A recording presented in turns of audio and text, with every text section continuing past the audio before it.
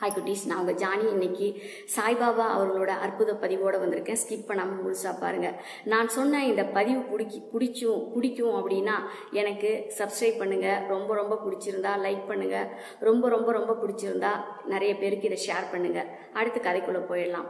சாய்பாபா உயிரோடு வாழ்ந்த காலத்தில் துவாரகாபுரி என்று சொல்லக்கூடிய ஷீரடியில் எல்லா கடைகள்லையும் போய் ஒவ்வொரு கடையிலையும் ஒவ்வொரு நாளைக்கு எண்ணெய் வாங்கிட்டு போய் மாலை நேரத்தில் மசூதியில் விளக்கேற்றுவது அவருடைய வழக்கம்.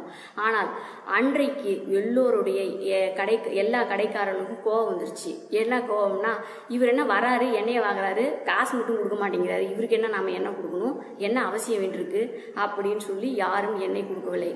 எண்ணெய் ஏன் இவர் காசு கொடுக்கறது இல்லை அப்படின்னா அது அதனுடைய காரணம் புரிந்து கொண்டால் அவர்கள் இந்த மாதிரி யோசிக்க மாட்டார்கள். காரணம் என்ன அப்படின்னா அவங்களுக்கு இந்த எண்ணெயை கடவுளுக்கு கொடுப்பதன் மூலம் அவங்களுக்கு நிறைய புண்ணியங்கள் சேரட்டும் அப்படிங்கிறதுக்காக தான் அவர் எண்ணெய்க்கு காசு கொடுக்காம வாங்குறார்.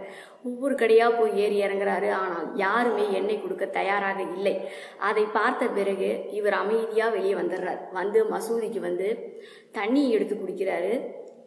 எண்ணெயை எண்ணெயில் ஊற்றுறாரு அந்த எண்ணெய் கிண்ணத்தில் அவர் வாயில் கொப்பளிச்சு அந்த தண்ணி அந்த எண்ணெயில் எண்ணெய் கிண்ணத்தில் ஊற்றி அந்த தண்ணியை எடுத்து விளக்கேற்றுறாருங்க விளக்கு எரிகிறது. தண்ணீரை கூட எண்ணெயாக மாற்றக்கூடிய அதிசயத்தை நாம் ஷீரடியில் தான் காண முடியும். அதற்கு பிறகு அவங்க எல்லோரும் இதையெல்லாம் ஒளிந்து நின்று பார்த்த கடைக்காரர்கள் சாயின் கால்களில் விழுந்து மன்னிப்பு கேட்டிருக்கிறார்கள். அதை கேட்டு அதை பார்த்ததும் அவர் என்ன சொல்லியிருக்கார் அப்படின்னா நான் நான் வந்து எல்லோருக்கும் புண்ணியம் கிடைக்க வேண்டும் அப்படிங்கிறதுக்காக தான் இதை செஞ்சிருக்கு செஞ்சிகிட்டு இருக்கிறேனே தவிர எனக்காக இதை நான் செய்யவில்லை. உலக நிம்மதிக்காக தான் இந்த விளக்கையே முத அவர் ஏற்றுறாரு அப்படிங்கிறதை புரிந்து கொண்டிருந்தால் அவங்க கண்டிப்பாக என்னை கொடுக்க மறுத்திருக்க மாட்டார்கள். நான் சொன்ன இந்த அற்புத பதிவு பிடிச்சிருந்தா குட்டீஸ் தமிழ் ஸ்டோரி சேனலுக்கு சப்ஸ்கிரைப் பண்ணுங்கள் லைக் பண்ணுங்கள் ஷேர் பண்ணுங்கள் பாய் குட்டீஸ் பாய்